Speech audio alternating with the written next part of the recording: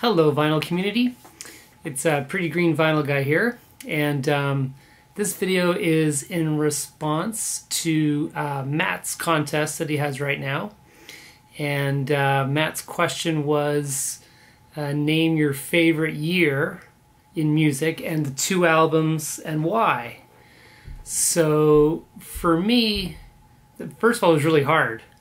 Um, you know, obviously you could go to 1967, Sgt. Pepper's, or you could go to 1971, Led Zeppelin 4.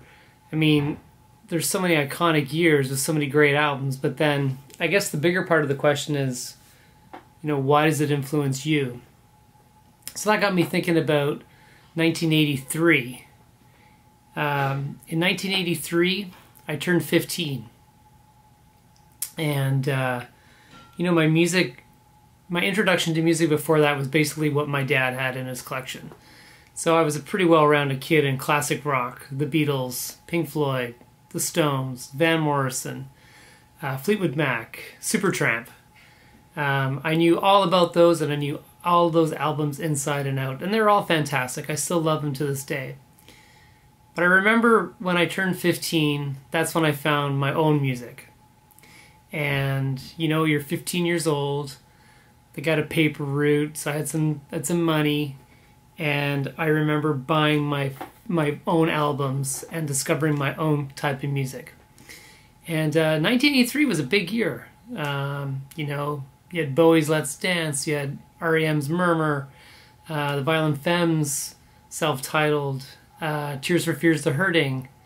Uh, you had Big Country, The Eurythmics, Billy Idol, Elvis Costello, Talking Heads. I mean, so many great bands that I love them all dearly and still listen to them to this day. But there's two albums that stood out that year that really got me into music and really finding my own. And uh, here they are. So the first one is U2 War. This was their uh, third album, uh, of course, released in 83. Uh, recorded in Dublin at Windmill Lane Studios, uh, produced by Steve Lillywhite. And, um, you know, as the title says, this was their anti war album. Uh, this is the Canadian, this is my original version from when I was 15. This is my original Canadian. You can see the maple leaf on here.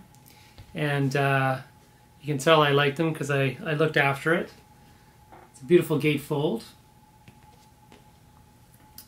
And um, yeah, so of course, I was born in Belfast, and uh, I know all about the troubles, and I know all about the conflict in Ireland. And um, you know, my family left Belfast because of the troubles, and um, so I know Sunday Bloody Sunday very well. Uh, for those who don't, Sunday Bloody Sunday happened in uh, Derry, Londonderry, in 1969, um, I believe where the British Army uh, shot uh, innocent protesters. And uh, yeah, so Sunday Bloody Sunday kicks this album off. Uh, then we go into Seconds, which is about uh, the chance of nuclear proliferation. And interesting, The Edge sings lead on that. New Year's Day was the other big hit after Sunday Bloody Sunday and that is about the solidarity solidarity movement in Poland, and uh, just a great song. Uh, then we have "Like a Song," and the side finishes with "Drowning Man," and um, yeah, just a fantastic first side. The drumming um, on "Like a Song" is unreal. Uh, side two starts with "The Refugee."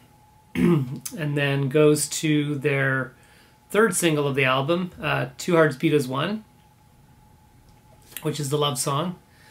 Uh, then we go to Red Light, which is, uh, I'm assuming, about a prostitute. Uh, Surrender.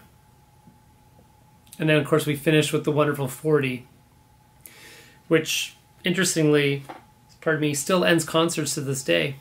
I mean, we all we all leave those stadiums singing, How long will we sing this song? And uh, the answer is forever. Uh, you know, U2 went on to be bigger than this. and um, and I, I I still for the most part like their music. Um, probably not as big of a fan of the last two or three albums, but certainly up to whew, all that you can leave behind. I guess was probably the last great U2 album. I'm gonna say, but certainly after this, of course, the Joshua Tree, um, the Unforgettable Fire, and uh, Achtung Baby would be my top three albums. So yeah, 1983, U2's War, life changing.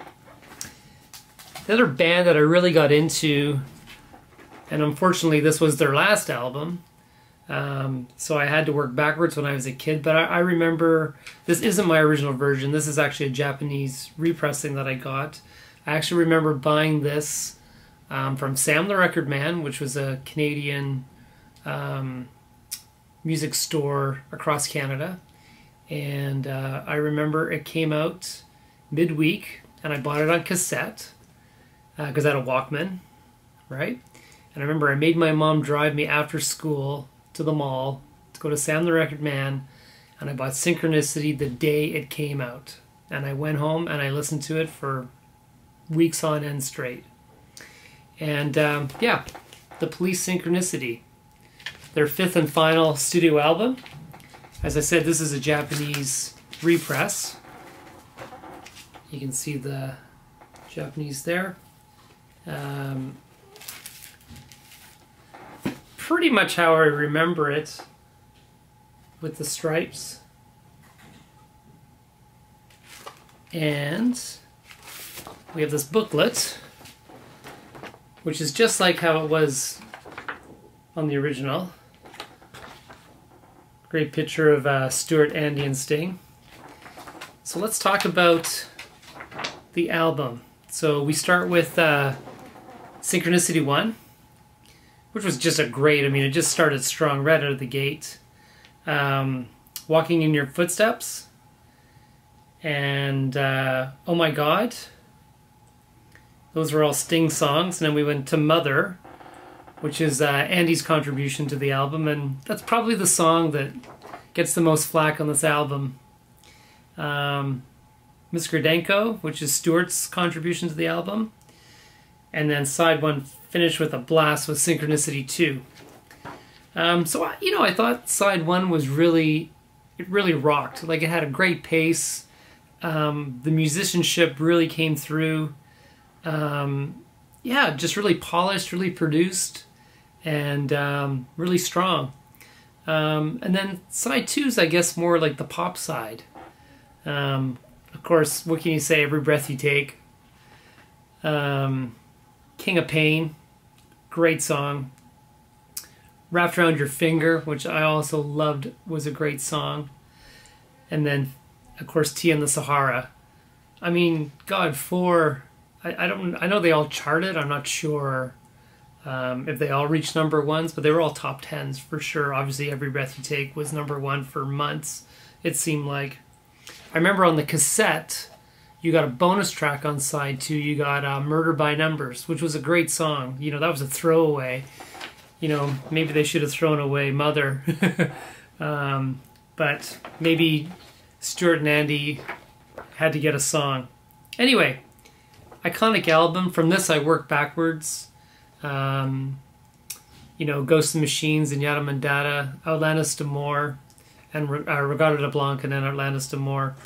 Um, today this probably isn't my favorite police album but it got me into them and the whole style of music that they produced that uh, white reggae as they called it. And um, yeah so 1983 u2's war the police synchronicity the two albums and why. Thanks guys. I hope you enjoyed. And matt congratulations on all your subs. Take care